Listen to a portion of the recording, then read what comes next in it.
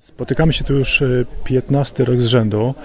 Co roku organizujemy takie, taką imprezę dla uczniów szkół podstawowych, gimnazjalnych i, i szkół średnich w z terenu powiatu zawiercińskiego.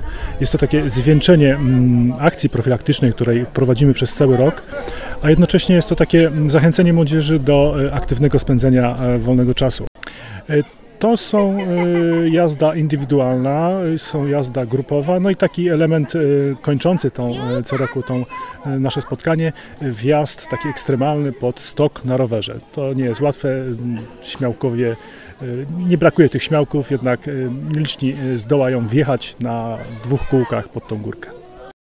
E, co roku mamy sporą liczbę uczestników. E, tutaj nie ma żadnych problemów, że ktoś tutaj nie chce przyjechać.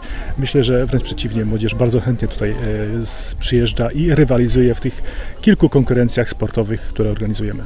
Organizowana jest przez Starostwo Powiatowe w Zawierciu, Komendę Powiatową Policji w Zawierciu oraz pełnomocnika do spraw rozwiązywania problemów alkoholowych w Zawierciu.